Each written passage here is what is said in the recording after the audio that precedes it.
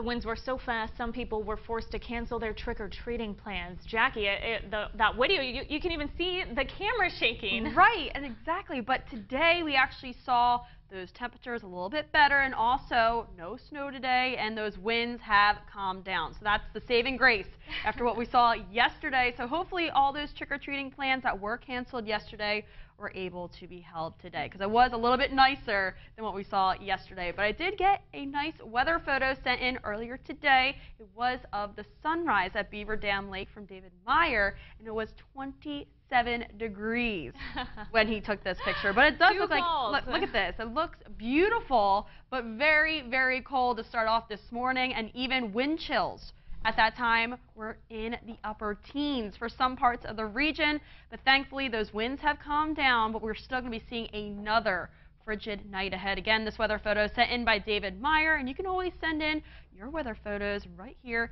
to at JackieABC57 on Twitter and also on Facebook. But here's a look at what we're tracking as we head out through the rest of the weekend. Another frigid night ahead, but more sunshine as we head into your Sunday And we are tracking that much needed warm up, especially after yesterday and even today's temperatures. So here's a look at satellite and radar. We are all clear, just a couple of clouds moving in off of the lake. Otherwise, we're still going to be seeing those mostly clear skies as we head out through the rest of the night. A wider look at satellite and radar, that one system that did bring that light snow through the area yesterday has moved on east.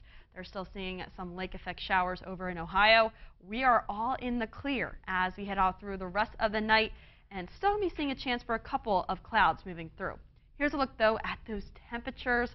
We are already dropping into the low to mid 30s all across the area, and those wind chills are making it feel like it's in the lower 30s.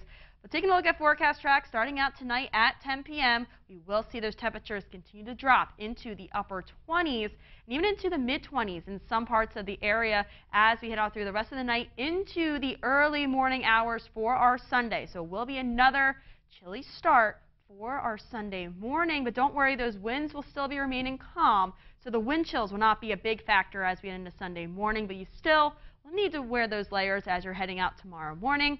Here's a look by 11 a.m. back into the upper 30s all across the area, and we will be making a run for 50 degrees as we head into tomorrow. Just overnight tonight, another frigid one back into the mid 20s as we head into tomorrow. Mostly sunny highs, like I mentioned, making a run for 50 degrees. And again, daylight saving time ends overnight tonight. We fall back that one hour, so we do gain one extra hour of sleep.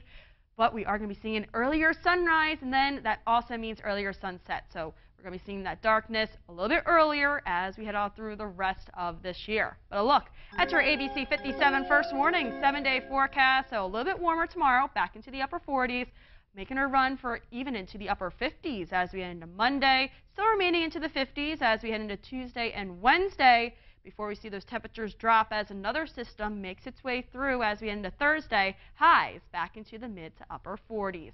Marissa?